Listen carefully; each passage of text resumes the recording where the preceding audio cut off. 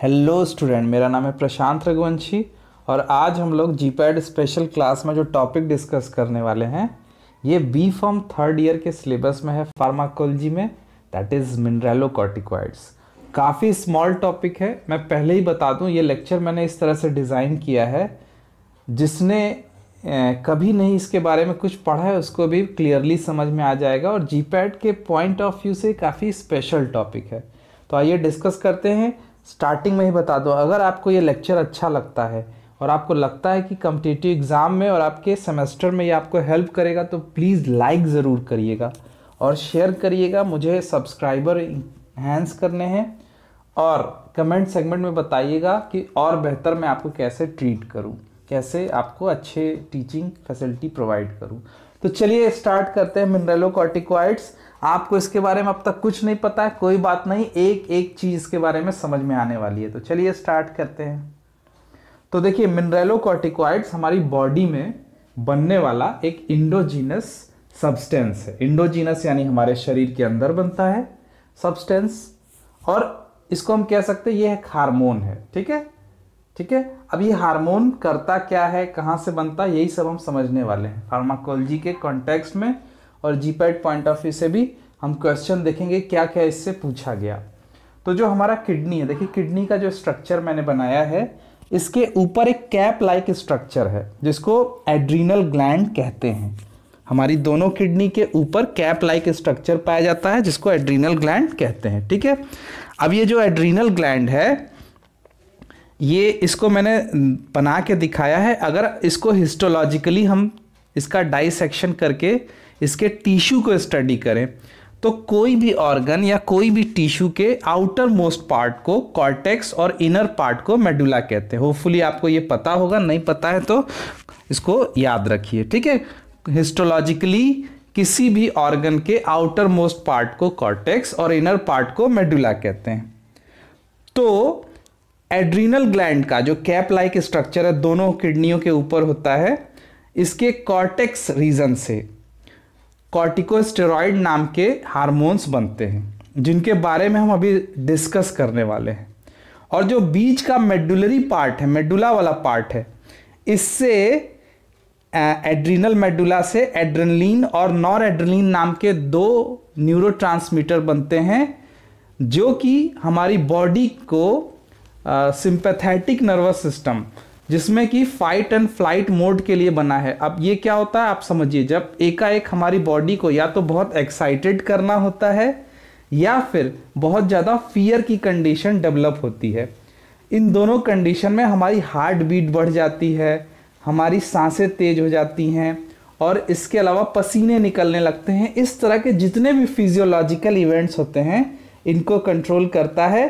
बीच के medullary portion से बनने वाला एड्रेनलिन और नॉर एड्रेनलिन उनके बारे में हम अदर लेक्चर में डिस्कस करेंगे। ऑलरेडी उस पर मेरे कुछ लेक्चर्स हैं, आप सर्च करके देख सकते हैं। जो कॉर्टेक्स वाला रीजन है, इससे क्या बनता है, कैसे बनता है, इसको हम यहाँ डिस्कस करने वाले हैं। तो जो कॉर्टेक्स वाला रीजन है, एड्रीनल कॉर्टेक्स, ठीक है? इसके भी तीन लेयर हैं। बगल में मैंने बनाया हुआ है, आपको दिख रहा होगा, ठीक है? एड्रीनल कॉर्टेक्स के तीन लेयर को कैसे याद रखा जा सकता है? G F R G F R आपको याद होगा। जी एफ़ आर से आपको ग्लोमुलर फिल्ट्रेशन रेट आप पढ़े होंगे या शायद ना पढ़े हों बट यहाँ पे जी एफ़ आर का वो मतलब नहीं है। जी एफ़ आर आप, आपको याद रहेगा तो तीनों लेयर के नाम याद रहेंगे। याद रखिए कॉर्टेक्स के आउटर मोस्ट लेयर को जो ना ग्लोमेरुलोसा कहते हैं। जी फॉर ग्लोमेरुलोसा उसके अंदर की जो लेयर है उसको जोना फेसिकुलाटा कहते हैं। और सबसे अंदर की जो लेयर है एड्रीनल कॉर्टेक्स की, उसको जोना रेटिकुलरिस कहते हैं। तो क्यों मैं ये आपको बता रहा हूँ? क्वेश्चन क्या पूछा है जीपैट में? या फार्मासिस्ट डीआई के एग्ज़ाम में क्या क्वेश्चन पूछता है? कि मिनरेलो कॉर्टिकॉइड्स और या ग्लूकोकॉर्टिकॉइड्स या सेक्स स्टेरॉइड कहाँ से सिक्रीट होंगे? ये तीनों हार्मोन हैं जिसमें से मिनरेलोकॉर्टिकॉइड और ग्लूकोकॉर्टिकॉइड को कॉर्टिकोस्टेरॉइड्स में रखा जाता है। और सेक्स स्टेरॉइड जो है, उनका फ़ंक्शन अलग है, उनके बारे में हम बाद में फर्दर डिस्कस करेंगे।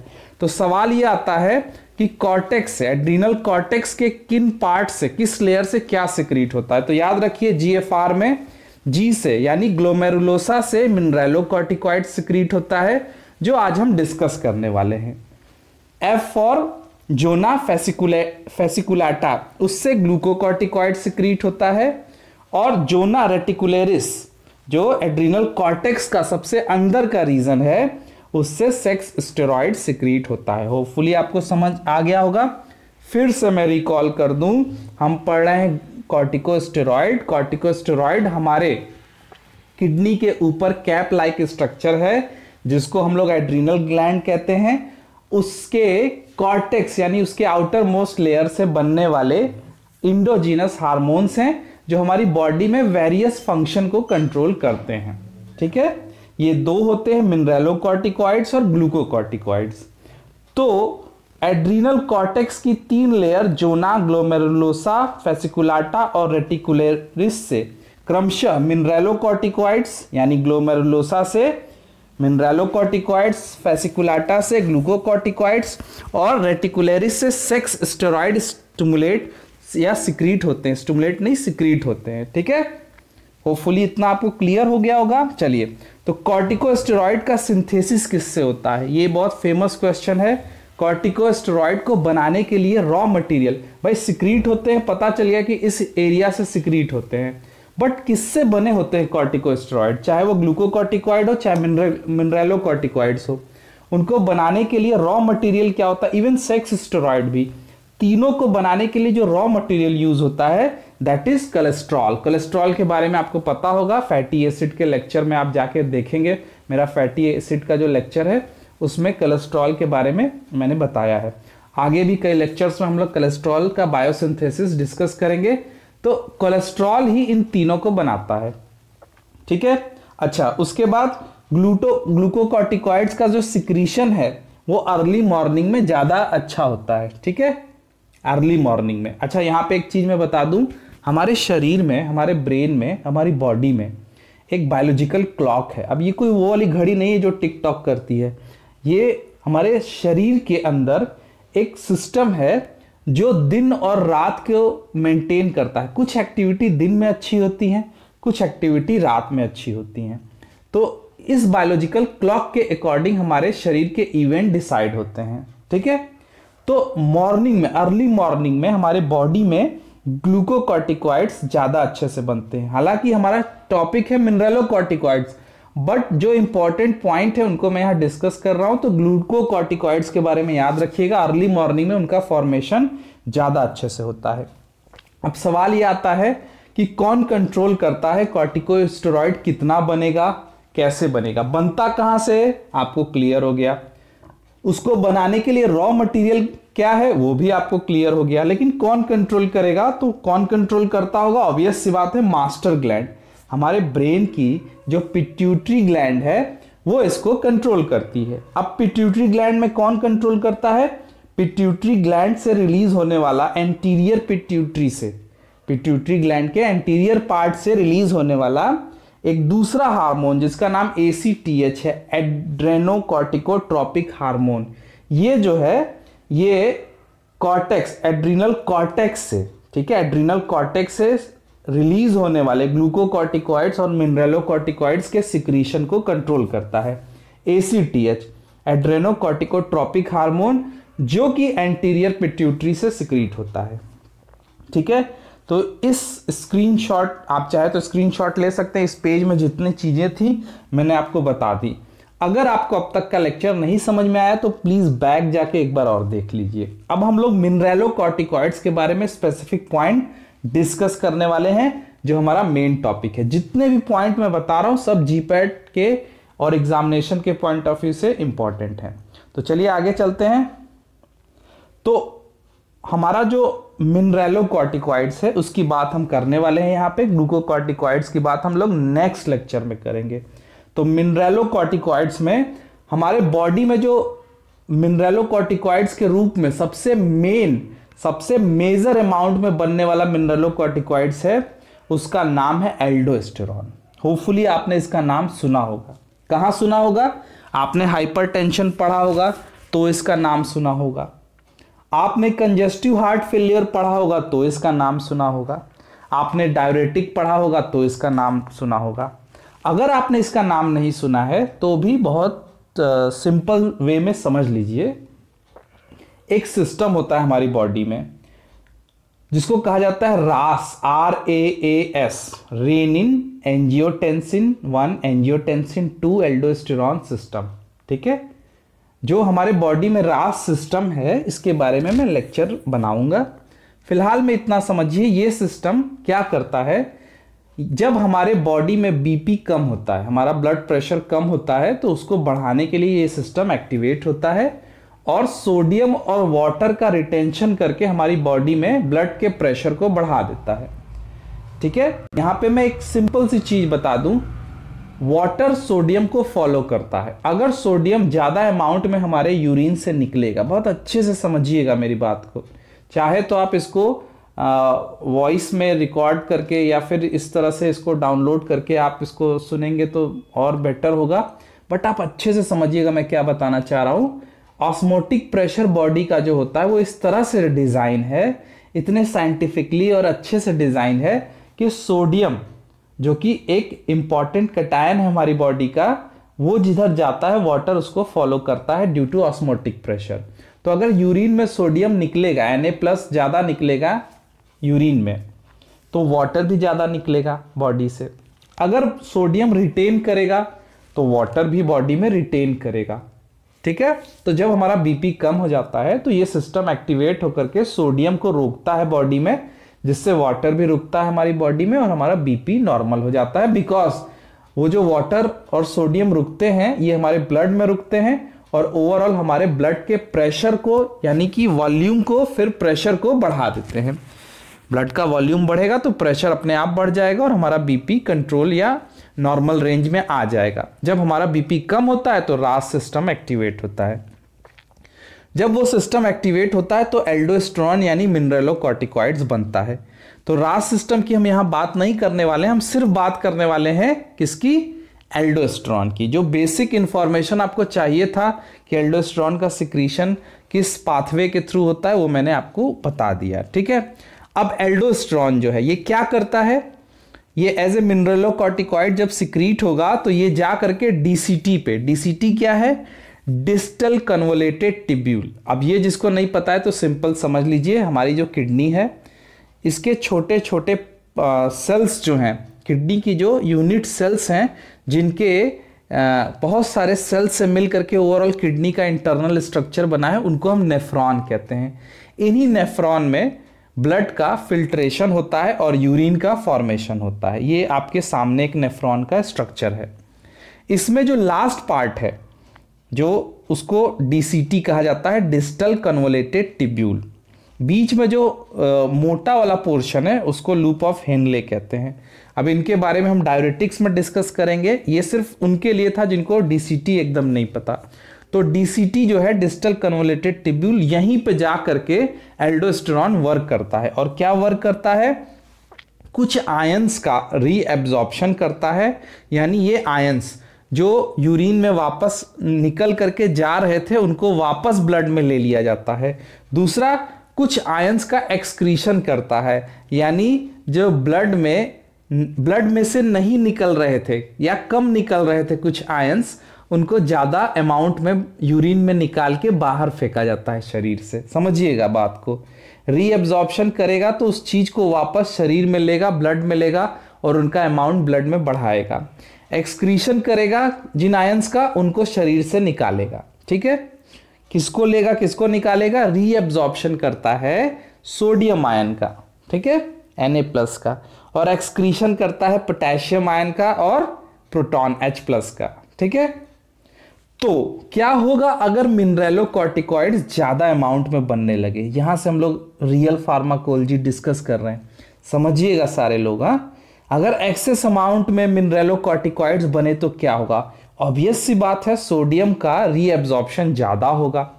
ज़्यादा सोडियम जब शरीर में वापस आएगा, जो यूरिन में निकल रहा था तो ज़्यादा वाटर भी वापस आएगा उसको फॉलो करते हुए ड्यू टू ऑस्मोटिक प्रेशर और ओवरऑल शरीर में सोडियम और वाटर दोनों ज़्यादा अमाउंट में हो जाएँगे, जिससे बीपी बढ़ जाएगा, यानी हाइपरटेंशन हो जाएगा। साथ में एडिमा हो जाएगा। जब ये वाटर हमारे टिश्यू के फ्लूड में जाके इकट्ठा होगा तो हमारी बॉडी में एडिमा मिक्सो एडिमा इस तरह के प्रॉब्लम क्रिएट होने लगेगी। सिंपल कंडीशन में इसको एडिमा कहेंगे। जब ये थायराइड से एसोसिएट हो जाएगा, ठीक है थायराइड का लेवल कम होने से, के वजह से जो एडिमा होगा उसको मिक्सो एडिमा कहेंगे। अब देखिए मिसमैच मत करिएगा, एकदम क्रिस्टल क्लियर समझिएगा। जब मिनरलोकॉर्टिकॉइड्स की हम बात कर रहे हैं तो आप सिंपल याद रखिए that will cause oedema and hypertension ठीक है? इसके अलावा, ये तो हो गई सोडियम की बात। अब चूँकि पोटेशियम और H प्लस का एक्सक्रीशन इसने बढ़ा दिया है मतलब हमारी बॉडी में जो नॉर्मल अमाउंट है पोटेशियम का और H प्लस यानी कि प्रोटॉन का जो कि एसिड है। H प्लस क्या है? एसिड है तो हमारी बॉडी से, हमारे ब्लड से एसिड निकल जाएगा। ठीक है? अब यहाँ कई बच्चे सोच रहे होंगे, सर ब्लड का पीएच तो बेसिक होता है। बेटा, यहाँ पे एक चीज़ समझिए ब्लड का पीएच बेसिक होता है बट इसका मतलब उसमें एसिड एकदम नहीं ऐसा नहीं है। ब्लड का पीएच अगर 7.2 है तो वहाँ पे H प्लस कम है और बेस ओ OH माइनस ज़्यादा है। बट ऐसा नहीं कि एकदम एसिड नहीं है। तो जो H प्लस है ब्लड में नॉर्मल कंडीशन में जब 7.2 पीएच एक हेल्दी ब्लड एक हेल्दी पर्सन का तो उससे, उसके जो H प्लस हैं वो यूरिन में निकलने लगेंगे और K प्लस भी, ठीक है? पोटेशियम आयन भी निकलने लगेंगे। तो जब पोटेशियम आयन निकलेंगे तो इस कंडीशन को कहा जाएगा हाइपोकैलीमिया और जब H प्लस निकलने लगेगा और यूरिन में यूरिन में बेस का अमाउंट बढ़ जाएगा क्योंकि H प्लस निकल जाएगा तो यूरिन का पीएच बहुत ज़्यादा 7.2 से भी ज़्यादा हो जाएगा। तो बेसिसिटी यूरिन ब्लड की बढ़ जाएगी। यूरिन में H प्लस निकल रहा है तो ब्लड से ही तो जाके यूरिन में फ़िल्टर होके निकल रहा है। तो हमारे ब्लड में बेसिसिटी बढ़ जाएगी, इसको एल्केलोसिस कहेंगे। तो याद रखिए, बहुत सिंपल वे में ये बच्चे रटते हैं। मैं चाहता हूँ आप समझो इसको, क्योंकि जीपैट या डीआई या कोई कम्पिटेटिव एग्ज़ाम आपको निकालना है तो ये आपको समझना होगा। आप बस इतना याद रखिए कि मिनरलो मिनरलोकॉर्टिकॉइड ज़्यादा सिक्रीट होगा तो सोडियम का रीएब्जॉर्प्शन करता है और के प्लस और एच प्लस का एक्सक्रीशन करता है। बस इतना याद रहेगा तो ये कंडीशन आपको अपने आप याद रहेगी। रटने की ज़रूरत नहीं है मेरे बच्चों को, ठीक है? अच्छा एक डिज़ीज़ होती है एडिशंस डिज़ीज़ एडिशंस डिज़ीज़ में क्या होता है? एड्रीनल ग्लैंड सही से काम नहीं करता है तो डेफिशिएंसी हो जाती है एड्रीनल कॉर्टिकॉइड्स की. ठीक है? तो जब ये कंडीशन आएगी तो मिनरलोकॉर्टिकॉइड भी बनना कम हो जाएगा एडिशंस डिज़ीज़ में. तब क्या होगा? तब इसका उल्टा होगा. हाइपोकैलिमिया हो रहा था जब मिनरलोकॉर्टिकॉइड ज़्यादा बन रहे थे, अब यहाँ पे क्या होगा? यहाँ पे उल्टा हाइपरकैलिमिया हो जाएगा. ठीक है? क्यों? बहुत सिंपल वे में समझिए। एडिसंस डिज़ीज़ एक बीमारी है, जिसमें एड्रीनल ग्लैंड सही से काम नहीं करती। जब एड्रीनल ग्लैंड सही से काम नहीं करेगी तो क्या होगा? एड्रीनल कॉर्टेक्स भी सही से हार्मोन का सिंथेसिस नहीं करेगा। और मिनरलोकॉर्टिकॉइड्स कम बनेंगे। ग्लूकोकॉर्टिकॉइड्स भी डिस्टर्ब होंगे। उनके बारे में हम उसके लेक्चर में डिस्कस करेंगे। जब मिनरलोकॉर्टिकॉइड्स बनना कम हो जाएगा तो क्या होगा? जो पोटेशियम एक्सक्रीट हो रहा था बॉडी से नॉर्मली ज़्यादा पोटेशियम जो हमारी बॉडी में आ रहा था खाने से या किसी भी तरह से, वो एक्सक्रीट हो जा रहा था due to presence of mineralocorticoids अब वो नहीं निकलेगा, वो हमारी बॉडी में स्टोर हो जाएगा. पोटेशियम का ज़्यादा होना बहुत ही डेंजरस होता है और इस कंडीशन को हाइपर कैलीमिया कहते हैं. इस वक्त डॉक्टर पेशेंट को उन फ़ूड को न खाने को कहेगा जो, जिनमें पोटेशियम होता है बट इससे काम नहीं चलेगा. पोटेशियम का ज़्यादा हो जाना जो है, उसको हमको तुरंत कंट्रोल करना होगा और उसका ट्रीटमेंट कैसे करेंगे? इंसुलिन के साथ नॉर्मल सलाइन देते हैं। देखिए इंटरेस्टिंग बात है। दैट इज़ थेरेपेटिक्स आप सुने होंगे इंसुलिन का यूज़ कहाँ होता है? इंसुलिन का यूज़ डायबिटीज़ में होता है। ठीक है, वहाँ पे होता है, लेकिन यहाँ पे भी होता है। याद रखिए हाइपर यानी पोटेशियम ज़्यादा हो जाने पर भी इंसुलिन का यूज़ किया जाता है, लेकिन यहाँ पे नॉर्मल सलाइन या शुगर के साथ में यूज़ किया जाता है। ठीक है? तो ये भी जीपैट पॉइंट ऑफ़ व्यू से काफ़ी इंपॉर्टेंट है। इसके अलावा एसिडोसिस हो जाएगा। क्यों? क्योंकि H प्लस का जो एक्सक्रीशन हो रहा था, जब मिनरलोकॉर्टिकॉइड नॉर्मल अमाउंट में बन रहा था, अब वो नहीं बन रहा है, कम बन रहा है तो जो H प्लस बॉडी से निकल रहे थे एक्स्ट्रा H प्लस वो अब नहीं निकलेंगे। जब नहीं निकलेंगे तो कहाँ रहेंगे? ब्लड में रहेंगे। जब H plus extra H plus blood में रहेंगे तो क्या होगा? ये ब्लड को एसिडिक कर देंगे ब्लड का पीएच 7.2 से कम होने लगेगा और ये हो जाएगा 6.9 6.8 ये अच्छी कंडीशन नहीं है ये हार्मफुल कंडीशन है। इस कंडीशन को मेटाबॉलिक एसिडोसिस कहेंगे। जैसे कि आ, आ, क्या कहा जाता है जब एच प्लस कम हो गया था उस कंडीशन को मेटाबॉलिक एल्कलोसिस कहते थे। उसी तरह इस कंडीशन को मेटाबॉलिक एसिडोसिस कहेंगे। तो मेटाबॉलिक एसिडोसिस में क्या करेंगे sodium bicarbonate. Sodium bicarbonate as a medicine दिया जाएँगे, आपको पता है, क्योंकि सोडियम बाइकार्बोनेट क्या है बेस है तो बेस देंगे तो एसिड को न्यूट्रलाइज करेगा, उसी तरह, जैसे वहाँ पे मैंने बताया नहीं ऑब्वियस सी बात है, वहाँ हम एसिड दे होंगे डाइल्यूट एसिड एस देते होंगे डाइल्यूट अमाउंट में।